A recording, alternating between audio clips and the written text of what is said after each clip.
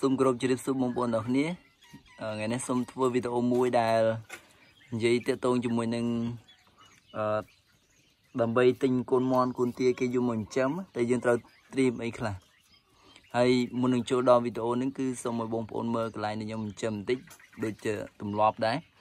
ហើយក៏សូមនិយាយបន្តិចដែរទាក់ទងជាមួយនឹងចំណុចនេះដោយសារតែអឺដូចអ្វីដែលខ្ញុំធ្លាប់លើកឡើងរាល់ដងអញ្ចឹងគឺ ខ្ញុំមិនជាអ្នកជំនាញទេប៉ុន្តែរាល់វីដេអូរបស់ខ្ញុំគឺធ្វើឡើងដើម្បីជួយទៅដល់អ្នកដែលគាត់ចាប់ដើមចិញ្ចឹមដំបងដំបងបើអ្នកគាត់ទៅទៅចាប់ដើមចិញ្ចឹមអញ្ចឹងទៅដោយសារតែខ្ញុំក៏ធ្លាប់ចាប់ដើមចិញ្ចឹមដោយខ្លួនឯងបែបហ្នឹងដែរហើយពេលដែលដំបងហ្នឹងគឺវាពិបាកក្នុងការចាប់ដើមហើយខ្ញុំព្យាយាមអឺស្វែងរក ព័ត៌មានផ្សេងផ្សេងតកតងជាមួយនឹងការចិញ្ចឹមកាយនឹងមានច្រើនប៉ុន្តែវាហាក់ដូចជាមិនឆ្លើយតបទៅនឹងសំណួរដែលខ្ញុំចង់បាន ហើយខ្ញុំសង្ឃឹមថាបងប្អូនទាំងអស់គ្នាក៏ដូចជាអឺខ្ញុំផ្ទាល់ដែរនៅពេលដែលខ្ញុំឆ្លើយនឹងសំណួរនេះសង្ឃឹមថាបងប្អូននឹងអាចរៀនបានខ្លះឬក៏អាចថាយកវាទៅ apply បានហើយមួយទៀតអឺមានអ្នកដែលសួរខ្ញុំថា កសិដ្ឋានហ្នឹងគេអានថាម៉េចកសិដ្ឋានខ្ញុំទៅសេឈ្មោះដាក់ហ្នឹងប៉ុន្តែឥឡូវហ្នឹងវាមិនជាលក្ខណៈកសិដ្ឋាននេះទេវានៅតូចតាចនៅឡើយប៉ុន្តែខ្ញុំសង្ឃឹមថាខ្ញុំនឹងអាចបរិយាវាទៅជាកសិដ្ឋានបានអាហ្នឹងកសិដ្ឋានហ្នឹងគឺគេអានថា approve farm approve អឺមែនទែនទៅតាមពិតពាក្យថាព្យាយាមសាកល្បងនេះគេប្រើពាក្យ try ទេប៉ុន្តែខ្ញុំយល់ថា approve គេពាក្យភាសាអង់គ្លេសមួយគេដាក់ថា on approve នេះមានសាកល្បងឬក៏តេស្តអីចឹងទៅអឺខ្ញុំស្រឡាញ់ពាក្យហ្នឹងដោយសារតែវាផ្ដើមដោយអក្សរ A ហើយពេលដែលយើងទៅសេជាអក្សរខ្មែរគឺវាផ្ដើមដោយអក្សរ O A គឺអក្សរទី1នៃភាសាអង់គ្លេសហើយ O គឺជាភាសាអឺគឺជាអក្សរចុងក្រោយនៃភាសាខ្មែររបស់យើងជាជាអ្នកអក្សរខ្មែរយើង ចឹងទៅខ្ញុំក៏ជ្រើសយកពាក្យនឹងយកមកប្រើហ្មងទៅដោយសារតែស្រឡាញ់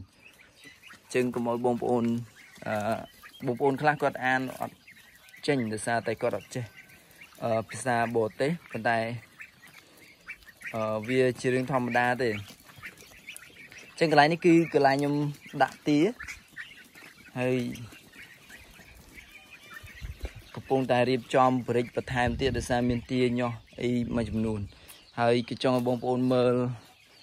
កន្លែងនេះគឺកន្លែងនេះខ្ញុំរៀបចំបាសាំងហើយពេលដែលរៀបចំមុនដំបូងនេះគេឆ្ងល់ថាហេតុអីបានជាមិនទិញពីងដាក់ហ្មងទៅហើយចាំបាច់ទិញអឺបាសាំងធ្វើបាសាំងទៅអីអស់លុយច្រើនជាងទិញពីងមិនណាមិនណីតែខ្ញុំប្រាប់គាត់ថាខ្ញុំមានគម្រោងរបស់ខ្ញុំបាទខ្ញុំធ្វើប៉ុន្តែពីច្រើនគាត់នៅតែរិះគន់ឥឡូវនេះគាត់ គាត់លេងថាអីដោយសារតែគាត់ឃើញអ្វីដែលខ្ញុំកំពុងធ្វើហើយនេះគឺជាផ្ទៃដីដែលខ្ញុំត្រៀមសម្រាប់បរិចទ្រង់មន់បន្ថែមបដោយរបស់វាគឺ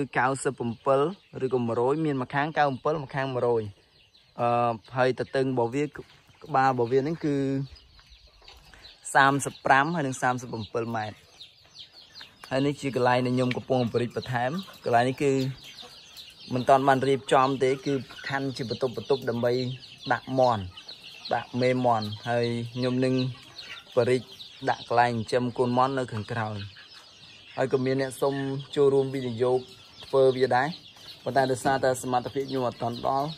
ជាទៅខ្ញុំអត់តាន់ហ៊ានទទួលយកសំណើនេះហើយកំពុងរៀបចំបដាបដាហើយកន្លែងនេះក៏នេះដែរមន់ឥឡូវនេះវា our control ប៉ុន្តែគ្រប់គ្រងវាលេខបានដោយសារតែ ចំនួនរបស់វារៀងច្រើនហើយបើសិនខ្ញុំដាក់វានៅ ក្នុងជាមួយគ្នាជុំគ្នាច្រើនដោយមិនប្រឡែងវាចេញក្រៅញញ៉ៃនេះអឺគឺវាងាយនឹងឈឺដោយសារតែវាច្រើនទៅវាឈឺហើយដូចបងប្អូនឃើញកន្លែងនេះគឺខ្ញុំបានរៀបចំជាប្រព័ន្ធទឹកហើយអឺដូចអ្នកដែលសួរខ្ញុំថាមិនបានធ្វើបាសាំងហ្នឹងគឺមូលហេតុគឺបែបហ្នឹងឯង ខ្ញុំចង់ធ្វើជាប្រព័ន្ធទឹកដើម្បីងាយស្រួលដោយសារតែខ្ញុំរវល់ច្រើនជាមួយនឹងការងារបជាគ្រូបរិញ្ញាចេះតែខ្ញុំអត់សូវមានពេលមើលថែហើយនៅពេលដែលមន់យើងអត់បាននៅមើលថែពេលដែលវាអស់ទឹកអស់អីយើងពិបាកមន់វាត្រូវការទឹកជាប្រចាំបើ24ម៉ោងនេះវាត្រូវការទឹករហូតនឹងកដាយប់អីឲ្យតែមានភ្លើងវាផឹកវាស៊ីទៅរហូតអញ្ចឹងទៅក៏ដាក់រៀបចំនឹងទៅហើយ មន់ទាំងអស់នេះវាចិត្តល្មមលក់ហើយក៏មានបងប្អូនដែលចង់បានធ្វើពូជច្រើនដែរអញ្ចឹងខ្ញុំនឹងទុកអាល្អល្អមួយចំនួនដែលខ្ញុំយល់ថាវាល្អទុកឲ្យបងប្អូនធ្វើពូជក្រៅពីហ្នឹងវាសម្បល់អីវាអត់ធ្វើល្អចឹងតែខ្ញុំលក់ជំនន់សាច់អឺចូលមកធៀបប្រធានបទរបស់យើងវិញគឺដើម្បីចង់ចិញ្ចឹមឬក៏ទិញមន់យកមកចិញ្ចឹមតែយើងគួរត្រៀមអីគេខ្លះដែលវាជាចំណុចសំខាន់ដែលខ្ញុំយល់ថាវាសំខាន់ ហើយខ្ញុំឃើញអ្នកដែលទិញកូនមន់យកពីខ្ញុំទៅមានខ្ញុំលក់ឲ្យតែបងប្អូនខ្លួនឯងទេដោយសារគាត់បើសិនជាយើងលក់ទៅឲ្យអ្នកដទៃហើយគាត់ចង់បានដែរយកបានលក់ឲ្យគាត់អានឹងជារឿងមួយដែលមិនគួរគេទៅខ្ញុំលក់ឲ្យតែបងប្អូនខ្លួនឯងទេម្ដង100ក្បាល200ក្បាលអីប៉ុណ្ណឹងអឺក៏ទិញជាប្រចាំឲ្យតែមានមន់ចឹងទៅខ្ញុំយល់ឃើញថាវាមាន3ចំណុចដែលយើងគួរតែត្រៀមហើយវាជារឿងដែលសំខាន់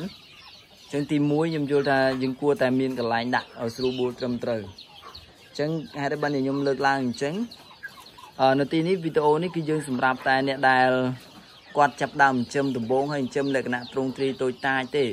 ចំពោះអ្នកដែលគាត់មានសមត្ថភាពមានលទ្ធភាពហ្នឹងគឺគាត់ទិញមន់ទៅ1000 2000ក្បាលគាត់ប្រកាសជាមានរោងអីស្រួលបួលត្រឹមត្រូវហើយហើយលក្ខណៈស្តង់ដាបច្ចេកទេសរបស់គាត់ក៏គាត់ចេះច្រើនដែរ ប៉ុន្តែអ្នកសម្រាប់អ្នកដំបងនឹងការខ្ញុំចាប់ដើមដំបងអញ្ចឹងអត់មានរោងអត់មានអីស្រួលបួលត្រឹមត្រូវទេចឹងខ្ញុំយល់ថាហ្នឹងវាជាបញ្ហាមួយហើយជាពិសេសអ្នកដែលស្កងសាលបងចិញ្ចឹមហ្នឹងគាត់ទិញទៅ100 200ក្បាលគាត់ស្ទើរបានត្រៀមរៀបចំកន្លែងអីហ្នឹងស្រួលបួលឯងអញ្ចឹងបានខ្ញុំឲ្យជាយោបល់ថាសូមទី1ហ្នឹងគឺរៀបចំកន្លែងបានស្រួលបួលត្រឹមត្រូវមានកន្លែងសម្រាប់ដាក់មន់ហើយចាំដាក់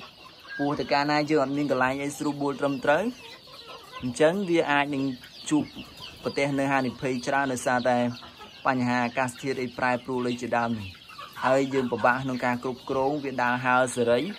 វាទៅកាលណាវាចេញពីត្រង់វាអត់សូវបានផឹកទឹកទេទៅកាលណាមន់ខ្វះជាតិទឹកអានឹងវាជាបញ្ហាវាអាចធ្វើមន់ងាយនឹងបកទៅជាជំងឺអីផ្សេងផ្សេងអីចឹងទៅអញ្ចឹងមន់ឈឺហើយទៅកាលណាមន់ឈឺងាប់ហើយយើងទិញមន់យកទៅចិញ្ចឹមអញ្ចឹងទៀតអញ្ចឹងវាងាយទៅជាបង្កទៅជាការបាក់ទឹកចិត្តដែលធ្វើឲ្យយើងនឹងបាក់ទឹកចិត្តហ្មងលេងចង់ចិញ្ចឹមលេងចង់អីចឹងទៅយកល្អគួរតែមានកន្លែងដាក់ឲ្យស្រួលបួលត្រឹមត្រូវអឺរឿងទី2ដែលយើងគួរធ្វើហ្នឹងគឺយើងត្រូវមានសុំឬក៏កន្លែងដាក់ឬក៏គេហៅសុំទ្រុងនេះអាហ្នឹងគឺសម្រាប់ ពេលដែលមន់ឈឺយើងត្រូវបបែកមន់ជាធម្មតាទោះបីជាប្រើវ៉ាក់សាំងអីក៏ដោយមានអ្នកខ្លះគាត់យល់ថាមន់នេះទិញទៅពីកន្លែងគេធ្វើវ៉ាក់សាំងអញ្ចឹងអត់អីទេហើយគាត់ភ្លេចថាមន់ដែលធ្វើវ៉ាក់សាំងគេធ្វើតែវ៉ាក់សាំងជំងឺសំខាន់សំខាន់ដូចជាជំងឺអាសន្នរោគហើយប៉ុន្តែយើងទិញពីទិញមន់ពីកន្លែងគេចិញ្ចឹមទៅហ្នឹងភាគច្រើនគេអត់បានធ្វើវ៉ាក់សាំងអាសន្នរោគទេដោយសារវ៉ាក់សាំងអាសន្នរោគធ្វើនៅពេលដែលមន់វាអាយុចាប់ពីមួយខែឡើង អញ្ចឹងវ៉ាក់សាំងដែលគេបានធ្វើហ្នឹងគឺមានតែញូកាសឬក៏យើងហៅតកោរេកតកោកាច់ហ្នឹងហើយនឹងជំងឺអុតបាក់សីភាគច្រើនគឺគេធ្វើតែពីរនឹងទេចឹងទៅនៅពេលដែលបងប្អូនទិញទៅដូចជំងឺផ្ដាសាយជំងឺអីផ្សេងផ្សេងជំងឺផ្លូវដង្ហើមអីផ្សេងផ្សេងអានឹងវាជាជំងឺរតីដែលយើងមិនបានប្រើវ៉ាក់សាំងទេអញ្ចឹងយើងចាំបាច់ត្រូវការមានកន្លែងសម្រាប់ដាក់ក្រុងបំបែក ឃើញដូចបងខ្ញុំគាត់ទិញទៅដំបូងហ្នឹងខ្ញុំបានប្រាប់គាត់ហើយគាត់បានធ្វើប៉ុន្តែមុននឹងបានធ្វើហ្នឹងវាអឺមានបញ្ហាមួយចំនួនបាត់ហើយគាត់អត់បានរៀបចំជាទ្រង់សម្រាប់បំបែកមន់ឈីទេអញ្ចឹងវាធ្វើឲ្យយើងនឹងខ្ជិះខ្ជីថវិកាទៅលើការទិញថ្នាំនៅពេលដែលមន់ឈឺយើងទិញថ្នាំទិញថ្នាំមកដាក់ឲ្យមន់ផឹកមន់ផឹកទាំងអស់ឧទាហរណ៍ថាមន់ទិញពីយើងទិញទៅ100ក្បាល យើងដាក់ឲ្យវាផឹកទាំង100ក្បាលនេះយើងគិតមើលមើលថាខាតថ្នាំប៉ុណ្ណាហើយមួយទៀតមន់ដែលផឹកថ្នាំច្រើនវាដូចមនុស្សអញ្ចឹងដែរមនុស្សក៏ដោយសត្វក៏ដោយដូចគ្នាគឺបើសិនជាយើងប្រើប្រាស់ថ្នាំច្រើនជាទៅវាអាចធ្វើឲ្យបណ្ដាលឲ្យមន់នឹងក្រិនឬក៏បើយើងគេហៅថាថ្នាំជាអាវុធមុខពីរអញ្ចឹងបើសិនជាមិនចាំបាច់អត់ចាំបាច់ប្រើទេតលឈឺអីអានេះយើងប្រើ ចឹងទៅនៅពេលដែលគាត់យកទៅអញ្ចឹងវាខាតឧទាហរណ៍ថ្នាំអឺសម្រាប់ព្យាបាលជំងឺមួយមុខហ្នឹងអស់30000ហើយព្យាបាលមួយជាមន់ចំនួនច្រើនដែរចឹងបើសិនជាយើងឃើញយើងឈឺមួយពីរយើងចាប់បំបាយដាក់ទៅមួយពីរទៅថ្នាំអស់តិចតួចអញ្ចឹងមកកញ្ចប់30000ហ្នឹងសឹងតែប្រើរហូតដល់មន់យើងលក់ប៉ុន្តែដល់ពេលយើងអត់មានកន្លែងសម្រាប់បំបាយអញ្ចឹងមន់ឈឺមួយពីរយើងដាក់វាទាំងអស់ អញ្ចឹងមកកញ្ចប់30000នេះបានតែម្ដងនេះឬក៏បានតែ3ថ្ងៃ3ថ្ងៃនេះបើវាឈឺលើក្រោយមិនទៅអញ្ចឹងឃើញតែយើងខាតច្រើនអញ្ចឹងគួរតែមានទ្រង់ប្របែក1ដុល្លារទៅអឺចំណុចទី3ហ្នឹងគឺថាវិការសម្រាប់គុតគងចំណីអាហ្នឹងក៏រៀងសំខាន់ដែរអឺមានមិត្តភ័ក្តិរបស់ខ្ញុំគាត់ទិញមន់ពីខ្ញុំទៅហើយគាត់ខ្វះថាវិការអាហ្នឹងវាជារឿងអឺ ពិបាកដោយសារអីដោយសារតែឧទាហរណ៍ទៅយើងចិញ្ចឹមបានមន់ទឹកចិញ្ចឹមបានមួយខែមន់ដែលយើងទិញទៅពីច្រើនបាន2ខែកន្លះអីហ្នឹងឬក៏2ខែហ្នឹងបានលក់ហើយប៉ុន្តែយើងទៅទិញបានទៅមួយខែស្រាប់តែយើងដាច់លុយឲ្យលីងអត់មានលុយសម្រាប់គុតគងចំណីអាហ្នឹងយើងគិតមិនពិបាកឯមែនអត់អញ្ចឹងវាជារឿងមួយដែលចាំបាច់ដែលយើងត្រូវរៀបចំថាវិការឲ្យស្រួលបួលអ្នកខ្លះគាត់អត់មានភីច្រើនដូចខ្ញុំអីចឹងខ្ញុំអត់មានថាវិការឯណាបំរុងសម្រាប់ មន់រហូតទេប៉ុន្តែខ្ញុំយល់ថាអូទោះបីជាយ៉ាងណាក៏ដោយដោយសារខ្ញុំមានប្រាក់ខែអញ្ចឹងបើសិនជាខ្ញុំខែនេះអត់ទាន់បានលក់មន់ទេអញ្ចឹងខ្ញុំអាចយកប្រាក់ខែខ្ញុំមកចំណាយទៅលើអឺការចិញ្ចឹមនឹងសិននៅពេលដែលយើងបានចំណូលពីការចិញ្ចឹមវិញបានយើងទូទាត់មកចូលមកប្រាក់ខែយើងវិញមកអាហ្នឹងវាជ្រើមួយល្អអញ្ចឹងខ្ញុំខ្ញុំសម្រាប់ខ្ញុំខ្ញុំអត់ដាច់ចំណៃទេដោយសារតែអញ្ចឹងដោយសារខ្ញុំមានអឺ ចំណូលជាប្រចាំខែប្រាក់ខែតែចំពោះបងប្អូនដែលគាត់អឺអត់មានប្រាក់ខែអញ្ចឹងយើងត្រូវគិតថាតើយើងអាចគ្រប់គងគ្រប់អត់សម្រាប់រយៈពេល3ខែហ្នឹងអឺសម្រាប់រយៈពេល2ខែហ្នឹងហើយចំពោះមន់100ក្បាលជាធម្មតាវាអាចស៊ីអស់ខ្ទង់6 7ការ៉ុងចំណីហើយមួយការ៉ុងចំណីវាអាចមានតម្លៃពី60000ទៅ65000តាមតំបន់អញ្ចឹងយើងគិតគូរទៅថាតើយើងអាចរក អឺថាវិការសម្រាប់គុតគង់ចំណីមន់នឹងបានអត់អញ្ចឹងបើសិនជាយើងអាចរកបានហើយអញ្ចឹងវាអត់មានជាបញ្ហាទេសម្រាប់ការចិញ្ចឹមនេះអញ្ចឹងសូមបញ្ជាក់បងប្អូនម្ដងទៀតចំណុចដែលយើងគួរគិតគូរនេះគឺមាន3ទី1គឺតកតូនទៅនឹងកតាកលែងសម្រាប់ដាក់ចិញ្ចឹមមន់នឹងបើសិនជាយើងទិញមន់ទៅ100ក្បាលយើងត្រូវដឹងថាកន្លែងប៉ុណ្ណាដើម្បីដាក់មន់100ក្បាលបាន ជាធម្មតាវាត្រូវការ1ម៉ែត្រការ៉េគឺអាចយើងដាក់បានច្រើនបំផុតត្រឹម10ក្បាលអីហ្នឹងទេខ្ញុំដាក់ច្រើនពេកហើយដោយសារខ្ញុំមិនមានកន្លែងពងបរិកន្លែងអឺទី2គឺយើងត្រូវការសុំឬក៏ទ្រុងបំបែកសម្រាប់ដាក់មន់ដែលឈឺព្រោះជាធម្មតាមន់កាលណាចិញ្ចឹមមានជីវិតគឺមានជំងឺអញ្ចឹងយើងត្រូវបំបែកត្រូវការកន្លែងនេះស្រួលបួលសម្រាប់ទុកដាក់វាទី3ដែលសំខាន់ដែរហ្នឹងគឺថាវិការសម្រាប់គុតគងចំណី សម្រាប់រយៈពេល2ខែឬក៏3ខែមកអញ្ចឹងយើងត្រូវតែអឺត្រៀមថាវិការនេះហើយមួយទៀតដែរគឺយើងត្រូវត្រៀមថាវិការខ្លះអានេះវាជាចំណុចមួយនៅក្នុងអឺខ្ញុំលើកឡើងតកតងជាមួយនឹងត្រង់បបាយសម្រាប់មន់ហើយដោយសារយើងត្រូវត្រៀមថាវិការសម្រាប់គុតគង់តកតងទៅនឹងចំណាយទៅលើថ្នាំដែរ ចឹងបើសិនជាយើងមានកន្លែងប្របែកត្រង់អីស្រួលបួយយើងត្រូវមានថ្នាំអីមួយចំនួនដែរទាក់ទងនឹងថ្នាំសម្រាប់ព្យាបាលអញ្ចឹងអឺវីដេអូហ្នឹងគឺមានតែប៉ុណ្្នឹងសូមបងប្អូន